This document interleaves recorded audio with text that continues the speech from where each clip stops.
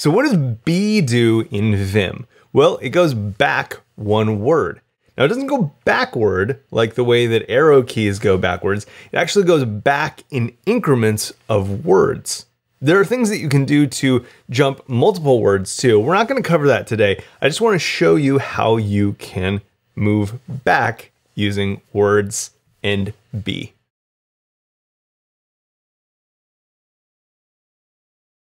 So let's open up a new file. I have prepared something uh, called lipsum.txt, and it just has the first paragraph of lorem ipsum, this classic placeholding text.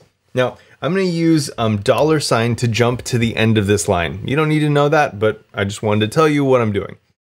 Now I use the B key to move back in increments of words.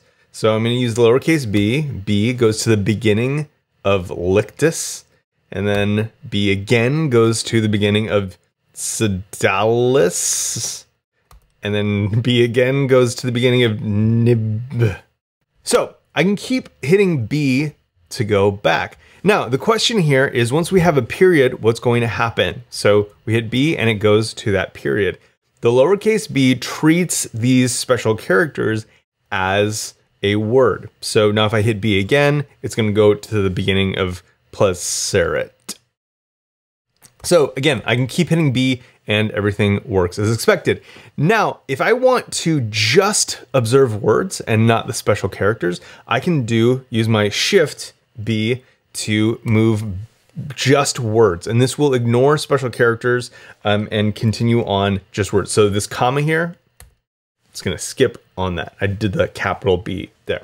So again, lowercase b if we want to navigate to the uh, special characters like commas and periods and other punctuation or capital B if we want to skip over them to the next word. Uh, you're presumably watching this because you're a programmer and there are some things that you should know. So I'm going to make a new line here. This is a test to determine at uh, whatever, deter, man, there are some characters that don't get observed the right way. So we're just gonna explore this line. So if I hit B, I go back to the beginning of determine.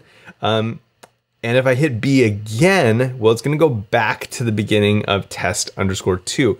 Um, it does not see test as a special character. However, um, it does see this dash as a special character. Uh, let's go to the end of the line again. I use dollar sign to do that. And I'm gonna hit capital B and that worked obviously. Um, this does the same thing as B in this case because underscores are not the same.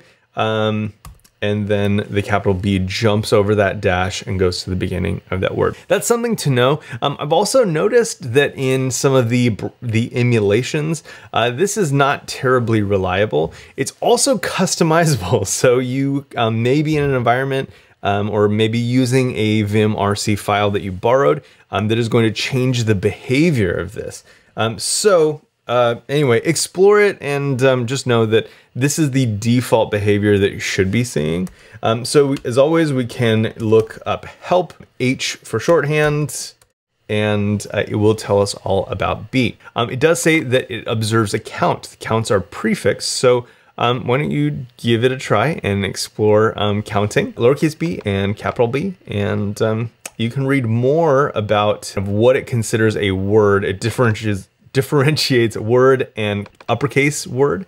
Um, so you can read more about what Vim considers a word versus a word in this help. Thank you so much for watching. Uh, if you want to watch the other videos in this series, um, the playlist link is down below in the description. And uh, yeah, that's it. Uh, good luck.